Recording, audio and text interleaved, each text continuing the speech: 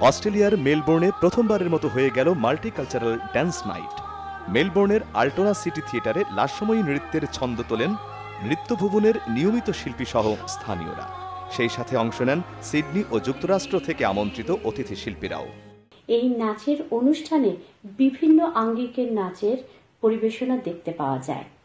শুধু বাঙালি কমিউনিটি থেকেই নয়, অন্যান্য কমিউনিটির নৃত্যশিল্পীরাও এখানে অংশগ্রহণ করে থাকে। মানে যারা নাচকে ভালোবাসি আমরা সুযোগ পেয়েছি আমাদের নাচটাকে সবার সামনে উপস্থাপন করা।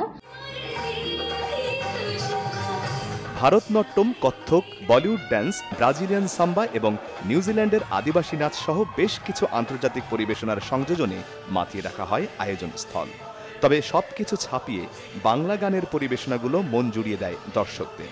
শিশুদের অংশগ্রহণও ছিল চোখে পড়ার মতো। আমি মল্টিকালচার ডান্স নাইট পার্টিসিপেট করেছি মাল্টিকালচারে এনজয় করেছি অনুষ্ঠানের মূল আকর্ষণ ছিলেন বাংলাদেশের প্রখ্যাত নৃত্যশিল্পী ও মডেল সাদিয়া ইসলাম মৌ এবং তাঁর দল।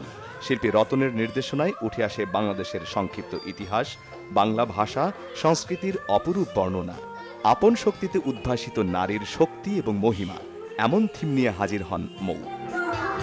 আমরা এখানে প্রথম আসতে পেরেছি এবং প্রথম একটি মেলবোর্নের ইতিহাসে আমাদের নাম থাকবে এটা চিন্তা করে খুব ভালো লাগছে।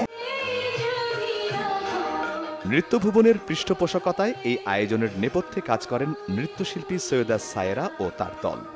এখানকার আয়োজকদেরকে আমি দেখেছি। নাচ বিষয়ক অনুষ্ঠান করতে বরাবরই তারা অনীহা প্রকাশ করেন। তাই যখন আমি সুযোগ পাই একটি আয়োজন করতে তখন আমি নাচকেই বেছে নিই। চিরচেনা নাচে প্রবাসে ফুটিয়ে তোলেন বাংলার আবহ। আমার ভীষণ ভালো লেগেছে এবং আমার কেন যেন মনে হচ্ছে আমার জানা মতে শুধু মেলবোর্নে নয় অস্ট্রেলিয়াতে এরকম একটি উদ্যোগ প্রথমবারের মতো। প্রবাসে বেড়ে ওঠা নতুন প্রজন্মকে নৃত্যশিল্পের সাথে সক্ষতা বাড়ানোর প্রয়াস অব্যাহত রাখতে এই আয়োজনটির ধারাবাহিকতা বজায় রাখতে চান আয়োজকরা।